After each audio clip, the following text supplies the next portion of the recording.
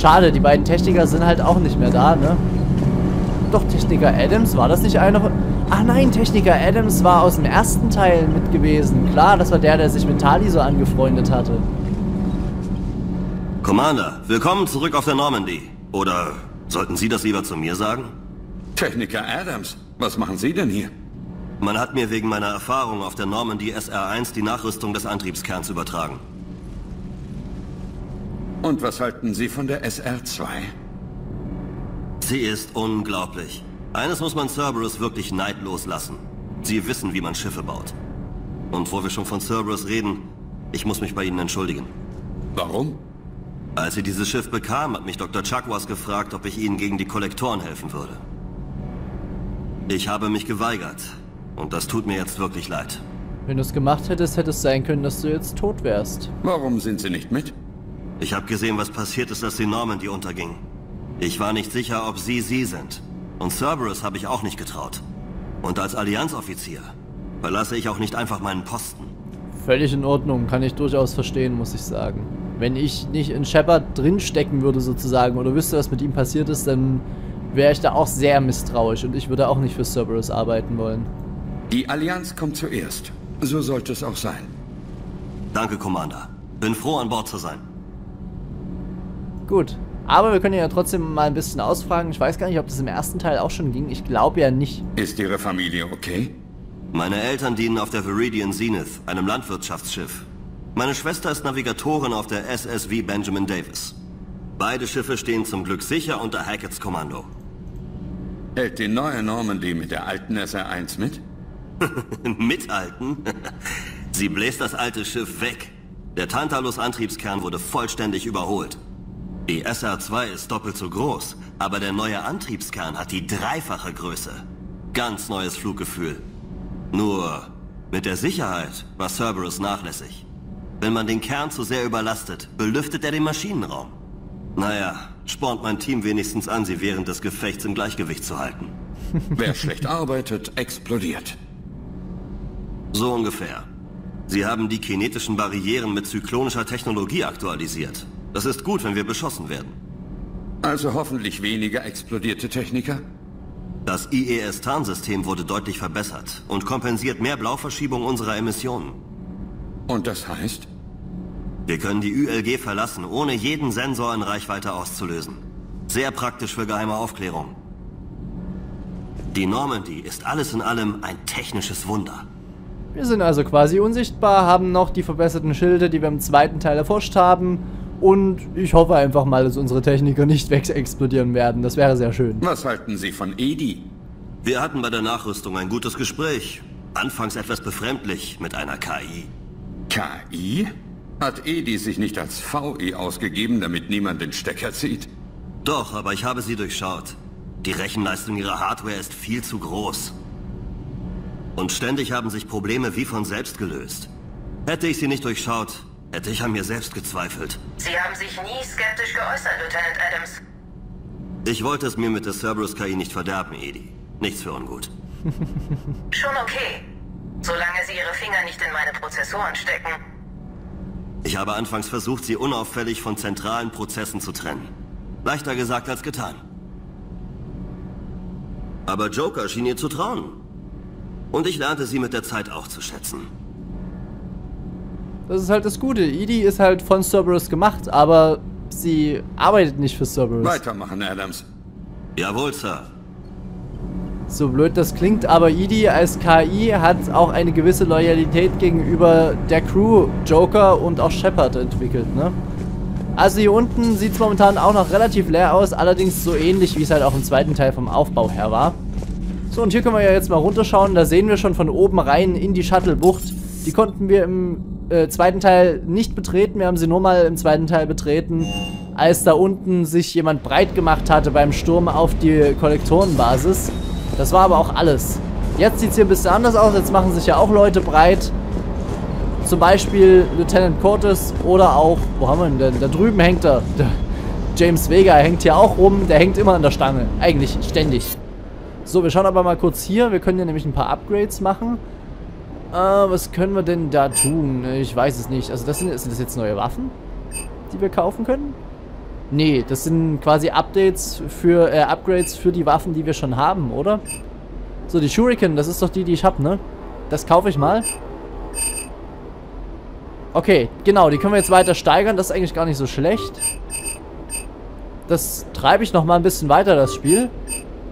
Denn, okay, jetzt geht's gar nicht weiter. Denn das ist ja momentan die einzige Waffe, die wir mit uns mitführen. Und wenn wir da ein bisschen den Schaden verbessern und das Gewicht senken können, umso besser.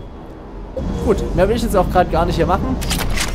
Ich würde sagen, drüben bleiben wir so, wie wir sind. Wir können ja mal kurz schauen. Genau, das Gewicht ist jetzt quasi auf Null. Also das Aufladetempo der Kräfte traumhaft.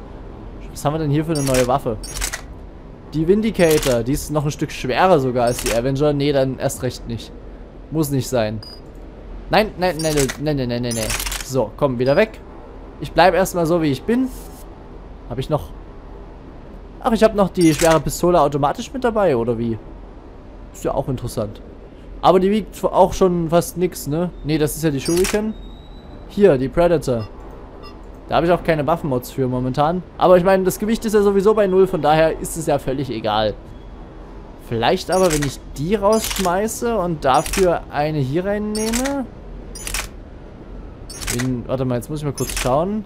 Der Schaden ist bei der niedriger, ne? Ah, die ist schon irgendwo... Wir probieren mal kurz die Vindicator ein bisschen aufzubessern. Okay, ich habe noch keine Mods, aber... Hm, plus 149 Prozent. Äh, nee, ich lasse es. Lassen wir weg. Wir können mal kurz schauen. Die Vindicator, können wir die auch schon... Ja, können wir. Na komm, was soll's. Wir machen das mal. Mal sehen, wie weit wir kommen. So, jetzt ist die auch raus und dann gucken wir mal kurz hier rein. Nein, nicht die schwere Pistole. Ich will hier die Vindicator. Naja, 173% ist okay. Ach komm. Haben wir noch zumindest eine zweite Waffe mit dabei, falls uns die Shuriken nicht reicht.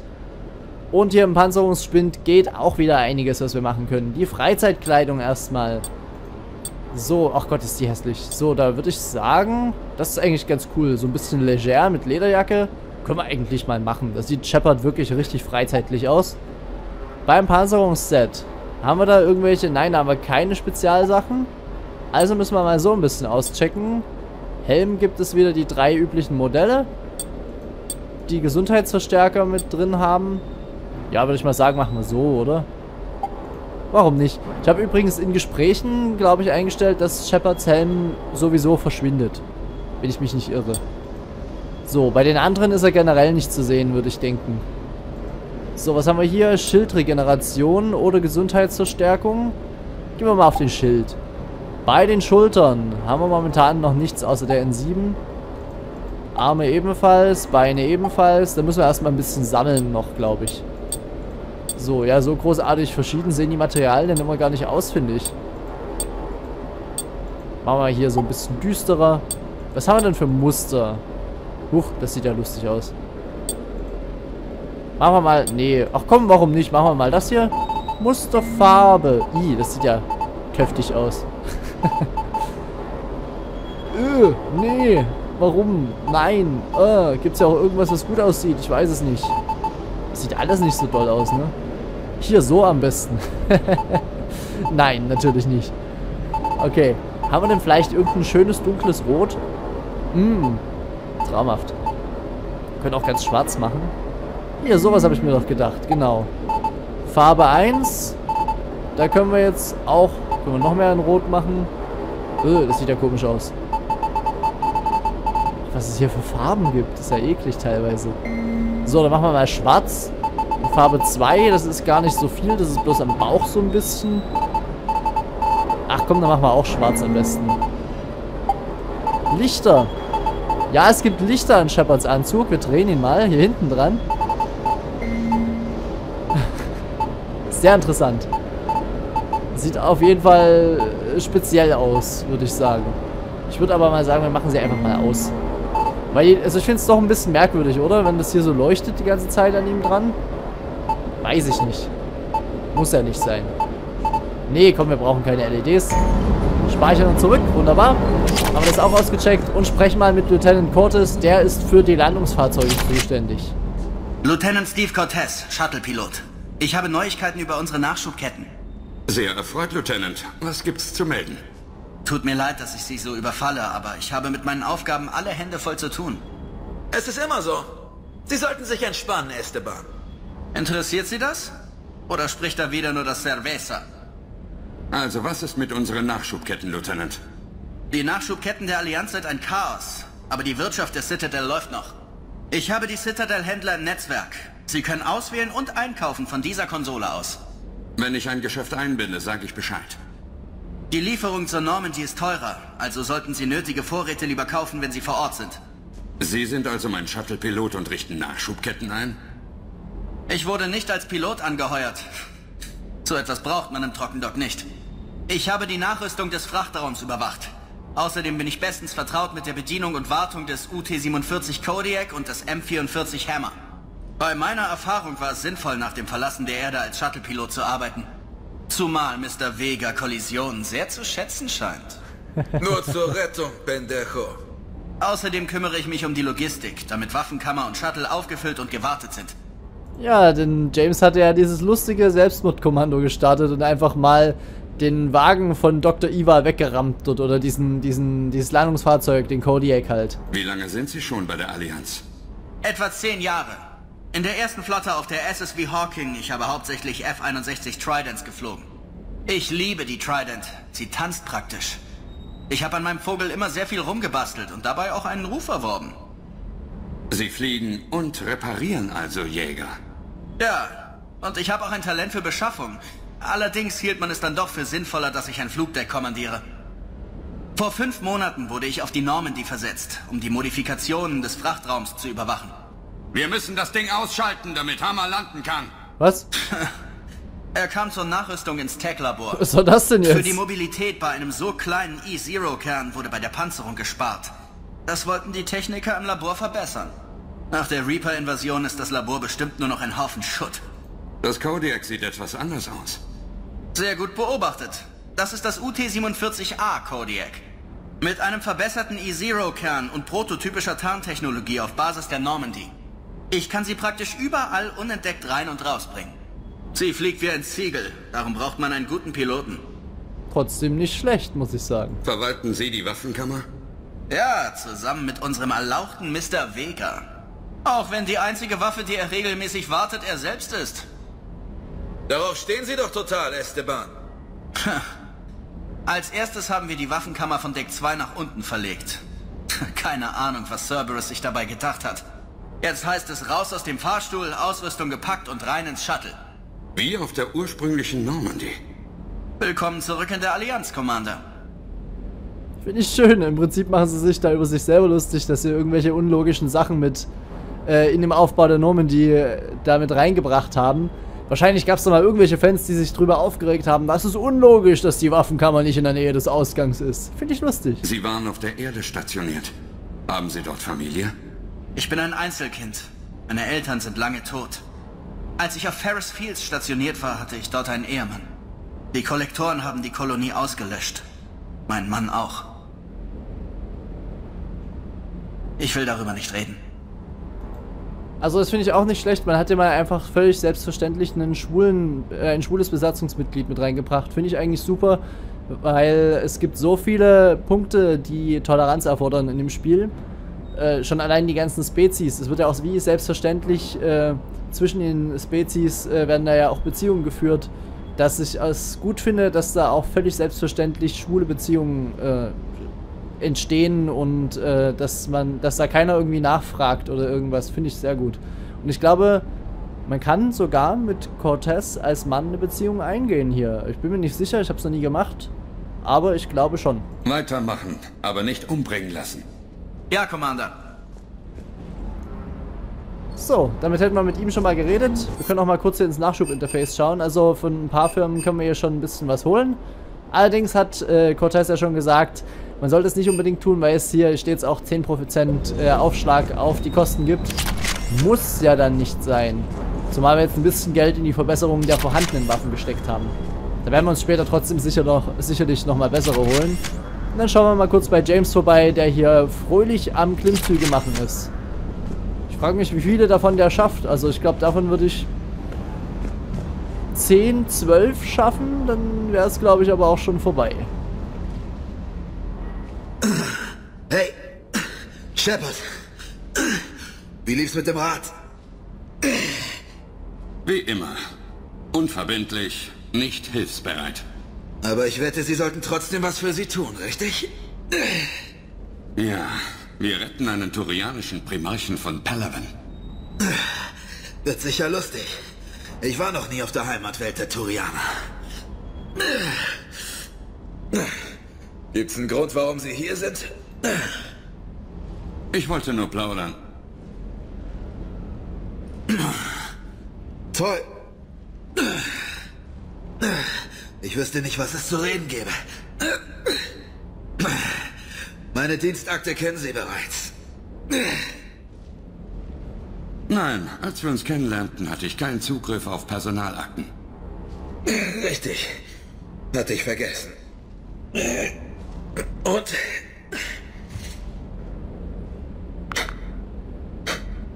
Ob Sie wohl gleichzeitig tanzen und reden können? Ich werde schon hinkriegen. Okay, Loco. Tanzen wir. Übertreiben Sie es nicht, Vega. Im Alter kommt Weisheit und Drang. Sie klingen wie mein alter Vorgesetzter. Ach ja? Und wer war das? Captain Tony. Er war ein knallharter Mistkerl, aber ein guter Anführer. War?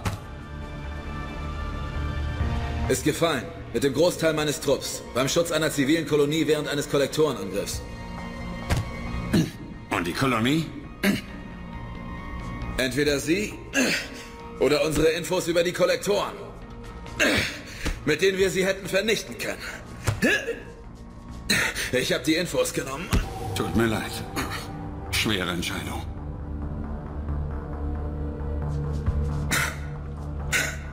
Das Beste war, dass wir die Infos am Ende gar nicht gebraucht haben. Weil sie die Galaxie gerettet haben, indem sie die Heimatwelt der Kollektoren erledigt haben. Das wussten sie nicht. Sie trifft keine Schuld, Wer sagt, dass ich mir die Schuld gebe? War geraten. Auch noch Seelenklempner? Nein, aber die Aktion auf dem Mars war Leichtsinn. Glück, dass sie noch leben. Und? Und? Ist ihnen dann egal, ob sie leben oder sterben? Oder vielleicht... Bin ich einfach nur bereit, alles zu... Vielleicht sind sie das. Aber wenn sie nur halb so gut sind, wie ich glaube, brauchen wir sie lebend.